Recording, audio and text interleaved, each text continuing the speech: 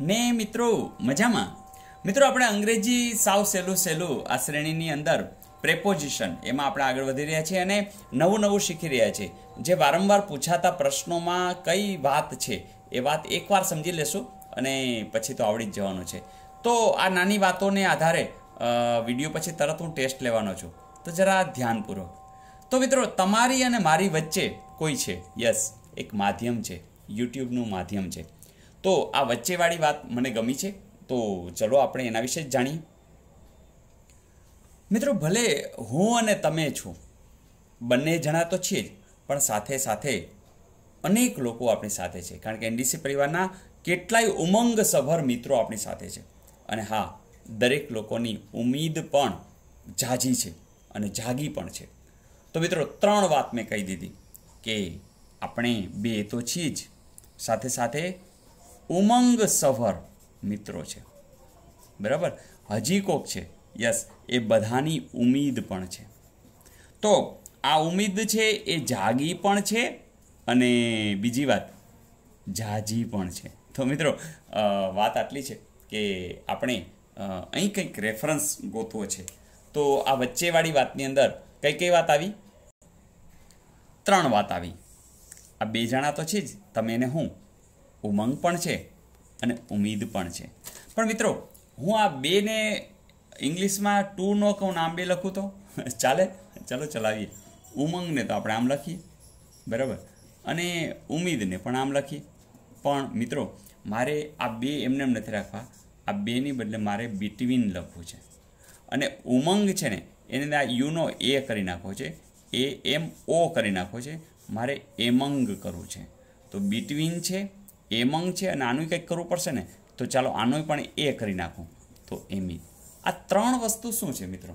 સાવ સિમ્પલ. આપણે ઘણી વખત આપણે બોલતા હોઈએ છીએ કે ભાઈ આની વચ્ચે આ વ્યક્તિ બેઠો છે. તો શું વાપરવું? બીટ્યુન વાપરવું? એમંગ વાપરવું? કે અમીડ વાપરવું? તો આ વચ્ચેવાળી વાતની અંદર થોડીક ડિટેલ જોઈ લેશું. પછી આપણો એક પણ માર્ક જવા દેવાના નથી. ઇઝ ઇટ ઓકે તો ચાલો જોઈ લઈએ. મિત્રો, આપણને આ બિટવીન એમંગ અને એમિટ આ ત્રણેય વસ્તુ યાદ રાખવા માટે સાવ સિમ્પલ સ્લોગન જ છે. બિટવીનમાં તો બે જ છે. યસ જ્યારે જ્યારે બે વ્યક્તિઓની વાત હશે, બે વસ્તુની વાત હશે અને વચ્ચે શબ્દ આવશે, ત્યારે શું આપણે દઈશું બિટવીન ઉમંગમાં તો ઘણાય છે. યસ જ્યારે આપણે ગણી શકાય એવા ચાર પાંચ વ્યક્તિઓ છે, બરાબર, બેથી વધારે છે, ત્યારે આપણે એમંગ વાપરશું. અને ગણાય નહીં એટલી ઉમેદ છે. અહીં જ્યારે ગણી શકાતું નહીં હોય ત્યારે આપણે એ મેળવા પડશું. જેમ કે પાણીની વચ્ચે. હા, તો પાણી છે ગણી નથી શકાતું.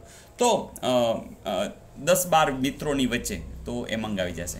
અને મહેશ અને નરેશની વચ્ચે તો બિટવીન આવી જશે. છે ને મિત્રો સિમ્પલ તો બરોબર યાદ રહી ગયું છે? એક બે ઉદાહરણ જોઈ લઈ અને પછી ટેસ્ટમાં તો તમને પૂરા માર્ક્સ મળવાના જ છે. તો આપી દઉં ઉદાહરણ. મિત્રો સિમ્પલ વાત તમે પકડી લીધી છે. બે જણા હશે તો બિટવીન હશે, જાજા બધા હશે તો અમંગ હશે. જે ગણી શકાતા હશે અને જે ગણી શકાતું નથી, ત્યાં એમિડ હશે. તો જનરલી આ બે વિશે જ પૂછાય છે, પણ થોડુંક જીપીએસસી કેવી હાઈ લેવલની અંદર આ પૂછાય તો પણ તમને આવડવું જોઈએ. સિમ્પલ ચાલો, હવે તમારે જવાબ દેવાનો છે. હી સેટ ખાલી જગ્યા, રવિભાઈ એન્ડ રોહિતભાઈ. કેટલા જણા છે? વેરી ગુડ બે જણા છે. જવાબ શું આવશે? સાવ સાચું છે. બિટવીન આવશે. કૌશિકભાઈ સેટ ખાલી જગ્યા હિઝ ફાઈવ ફ્રેન્ડ્સ હા, જાજા બધા છે. બરાબર, ગણી શકાય એવા છે. અમંગ આવશે. અને કબીરભાઈ કુડ સી નથિંગ, ખાલી જગ્યા ડાર્કનેસ તો અંધારા વચ્ચે એને દેખાતું નથી. I can't he couldn't see તો શું આવશે? વેરી ગુડ એમિડ તો મિત્રો, ક્યારેક ક્યારેક સમજો કે કોઈક સાહિત્યિક ભાષા વપરાતી હોય. સમજો તો ત્યાં એમંગ તો વપરાય, પણ ક્યારેક ક્યારેક એમેંગ અમંગસ્ટ બરાબર એસટી પણ વળે એ જ રીતે એમિડસ્ટ બરાબર? તો આ પણ વપરાય છે, એટલે ગભરાઈ ન જતા. વાત એની છે, પણ સાહિત્યિક ટચ આપવા માટે એ જનરલી આ એસટી શબ્દ વધારાનો પણ યુઝ થતો હોય છે.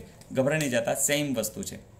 તો મજા આવી, તો યાદ રહી જ ગયું છે. મને પણ ટેન્શન નથી તમને પણ ટેન્શન નથી. જોઈએ નેક્સ્ટ ટોપિક મને લાગે છે આપણે થોડુંક વધારે જોવું જોઈએ. ચલો જોઈ નાખીએ. થોડુંક એટલા માટે મિત્રો કે કોન્ફિડન્સ વધે. જેમ કે દરિયા વચ્ચે. શું આવશે? યસ વેરી ગુડ એમિડ અથવા તો એમિડ્સ બે વૃક્ષો. યસ તો બિટવીન પાણી વચ્ચે, ફરીથી એમિડ કોલાહલ વચ્ચે એમિડ માણસો વચ્ચે યસ શું આવશે? અમંગ અને ધુમાડા વચ્ચે યસ તો એમિડ તો મિત્રો, આવું કંઈક કે જે હવે તમે જાણો છો. અને આ થોડુંક, એટલે કે લિટલ કે ફ્યુ ઓહ સોરી વળી ગોટાળો થશે. ચલો થોડુંક શું છે એ પણ જોઈ લઈએ. મિત્રો, આ થોડુંક એટલે ફ્યુ અથવા એ ફ્યુ અથવા ધ ફ્યુ મિત્રો, આ ફ્યુ અફ્યુ આમાં ગોટાળો થતો હોય છે, પણ હવે તો થવાનો જ નથી, કારણ કે આજે શીખી લેવાનું છે. ફ્યુ ક્યારે વપરાય? ફ્યુ ત્યારે વપરાય કે સાવ થોડુંક. સાવ થોડુંક નામ જેને કહેવાય, નહિવત જેવું હોય. એકદમ નહિવત જેવું. બરાબર? તો એવું હોય ને, ત્યારે ફ્યુ અને થોડુંક એટલે અમુક જેટલું હોય, હે આમ આમ થોડુંક હોય, તો ત્યારે આપણે અફ્યુ વાપરશું. એટલે કે અમુક હોય, તો આપણે અફ્યુ. પણ બીજી એક વાત, કે અહીંયા થોડી નકારાત્મક છે વાત. અને અહીંયા હકારાત્મક વાત છે. તો આ જરા જોજો. આ એક અગત્યની છે તમને વાક્યના આધારે સમજાવશે કે આ શું છે. અને ધ તો મતલબ કે ચોક્કસ કંઈક વાત આવી જશે, એટલે જેમ ધ આર્ટિકલ વાપરતા હતા એ જ લઈ જશો એટલે બીજું કંઈ એમાં છે ટેન્શન નથી. તો એક વાક્ય જોઈએ જેના આધારે તમને ખબર પડી જશે. મિત્રો, તમને આ જે વાક્ય છે, એ જ તમને સ્પષ્ટ કહી દેશે. અને તમે જોશો કે જેમ કે you want books but I have few મતલબ કે મારી પાસે આમ, જેને કહેવાય ને આમ, છે જ નહીં એ પ્રકારનું છે, એટલે આમ I want books but I have few બરાબર?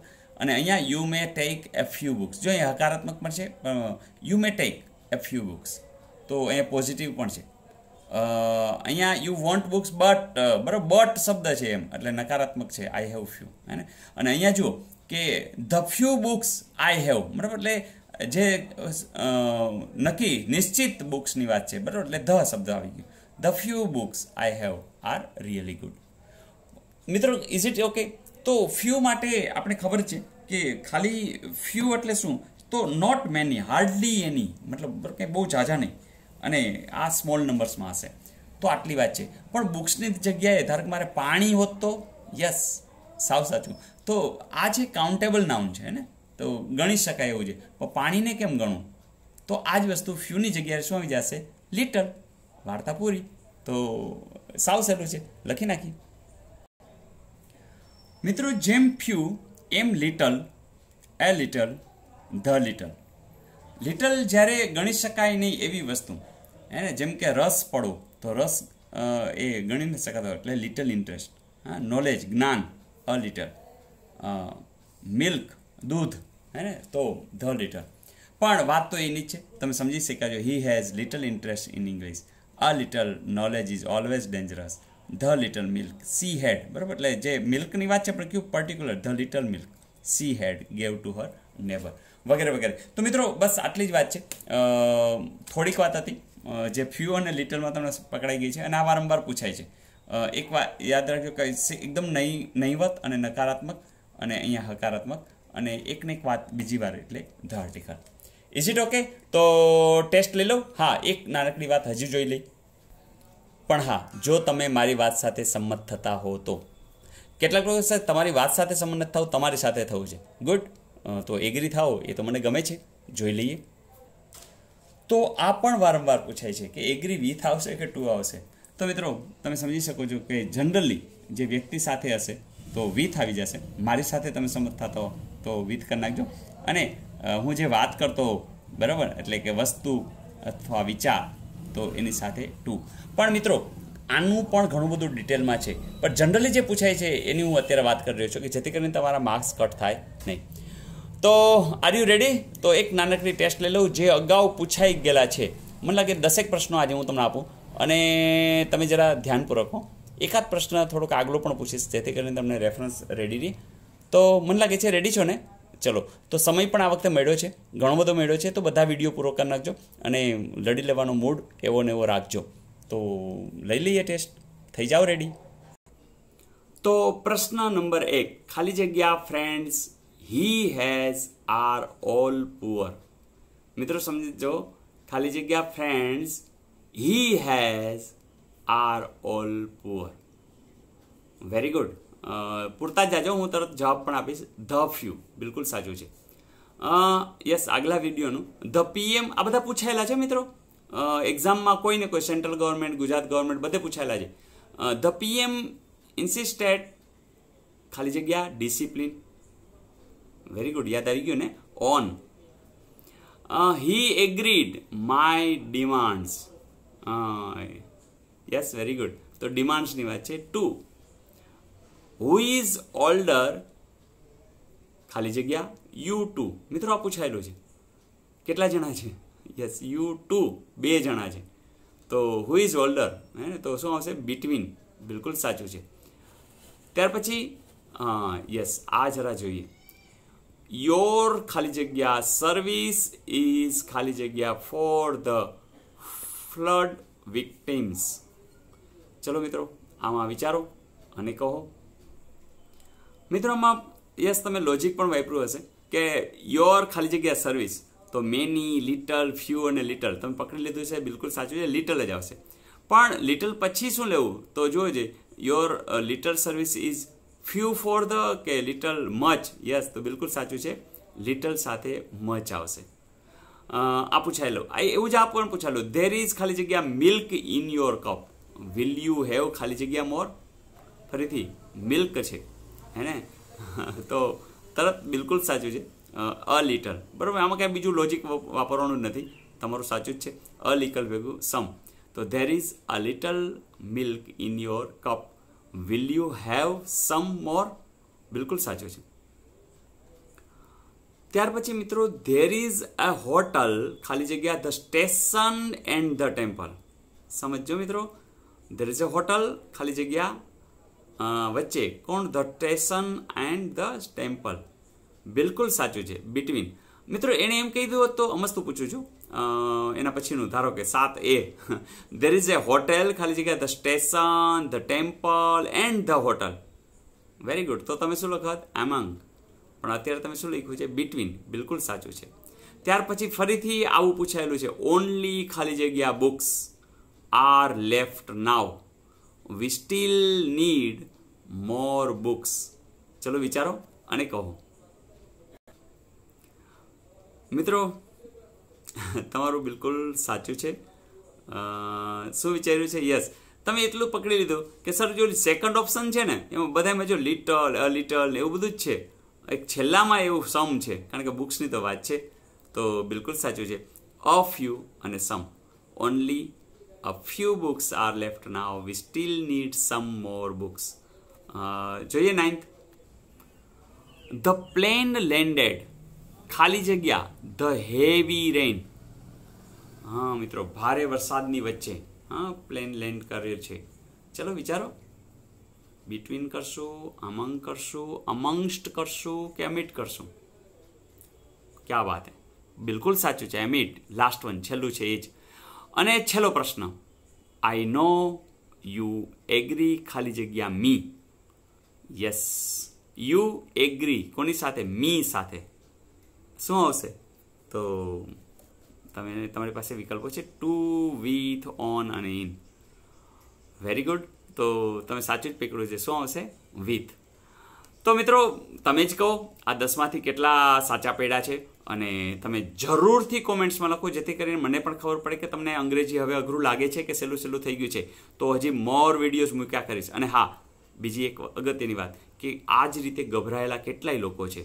તમારા જ મિત્રો છે. તમારા જ સગાવાલા છે. એને કોણ પહોંચાડશે? યસ, તમે જ. તો ત્યાં પણ પહોંચાડી દો મને પણ કોમેન્ટ્સ લખી દો અને હા, છેલ્લે વલણું તો જોશે ને. ચલો આપી દો મિત્રો, વલણું તૈયાર છે. કે થોડી વાતોની વચ્ચે સંમત છો તમે. જી હા, થોડી વાતોની વચ્ચે સંમત છો તમે એટલે તો અંગ્રેજી બહુ બહુ અમને ગમે. જી હા મિત્રો, તમને હવે અંગ્રેજી બહુ બહુ ગમે જ છે. શું કામ? ગણિતની જેમ જ વ્યાકરણની અંદર પૂરેપૂરા માર્ક્સ લઈ શકો છો. અને આપણે થોડી, હે ને ફ્યુ પછી વચ્ચે, હે ને, તો એ પણ જોઈ લીધું છે. અને એગ્રી હા એગ્રી વિશે પણ જોઈ લીધું છે. તો બસ ટોપિક તો આગળ આગળ જોતા જશું. અને જેમ ગણિતની અંદર રિઝનિંગની અંદર માર્ક્સ ખેંચ્યા છે, ગુજરાતી ગ્રામરમાં ખેંચ્યા છે, એવા જ અંગ્રેજીમાં પણ માર્ક્સ લેવાના જ છીએ. કંઈ ગભરાતા નહીં મિત્રો, બસ આનંદથી કામ કરો, બધાને જોડો અને કોમેન્ટ્સ તો લખવાની જ છે. વિશ ઓલ ધ બેસ્ટ આવજો.